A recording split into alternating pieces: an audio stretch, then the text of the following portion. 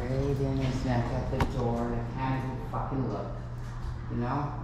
Injecting heroin, fentanyl, right into his neck. Yeah, he's, he's injecting right in his neck. Like I can't look at that needle.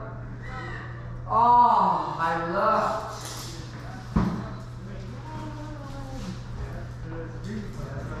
He's injecting heroin in his neck at the door.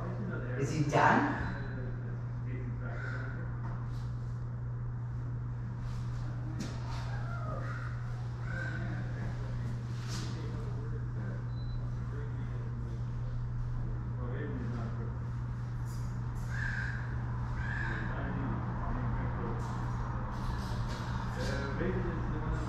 Fuck's sakes.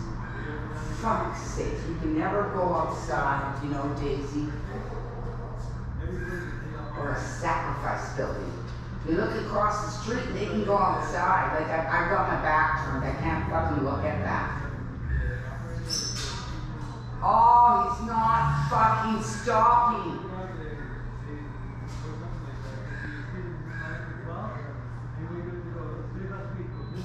Okay, I can see his reflection. Come on, get away. Can you tell him to move, please?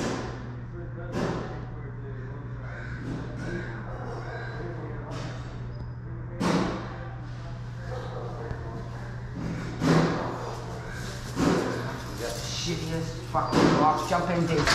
Our, our filthy, disgusting building doesn't power wash.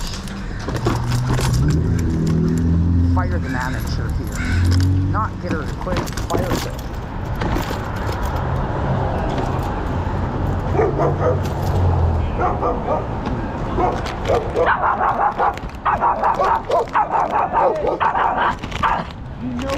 Ah.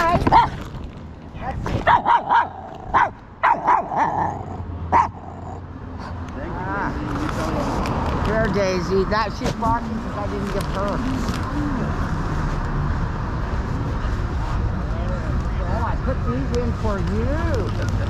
How are you, Kino? Hi, Kino.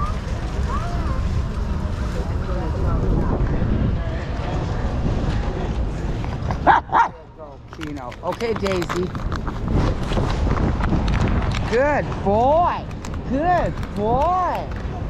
With your soft, big brown eyes. See ya.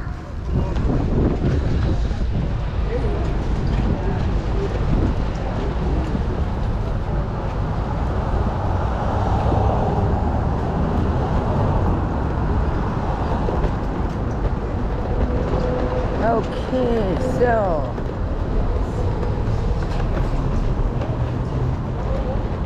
Yeah, we'll never get our sidewalk back.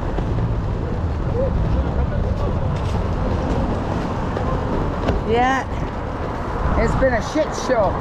City says phone the police, police say phone the city. But now, I know. None of these tents are allowed to move without the city's permission. Everything's a fucking show and staged. You know, Sarah Blyth and Ryan Suds with their misinformation come here. Pretend they're homeless people, they're not. And if they are, there's one.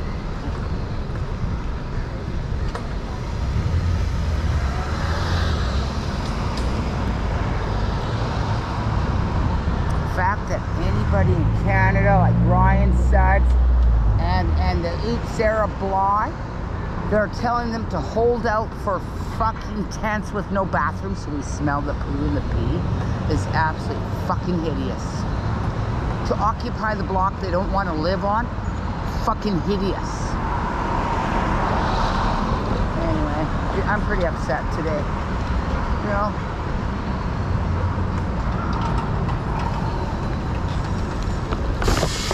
Oh, and plus they killed the mentally ill by letting them flounder on drugs. They have to get off the drugs before they get any help, and by then they're not even capable of putting shoes on. Not going down that block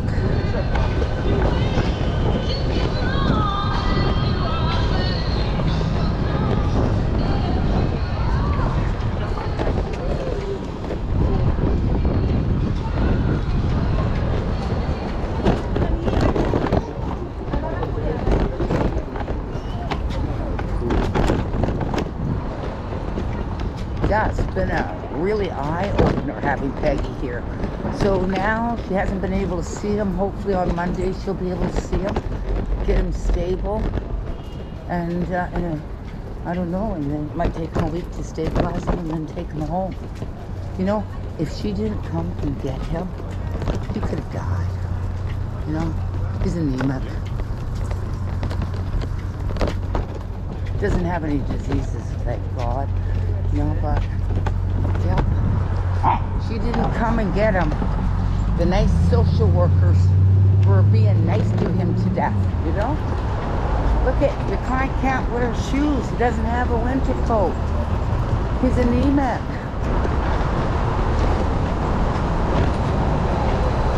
What they do, I have noticed, is they will catch him, give him a shot, and release him.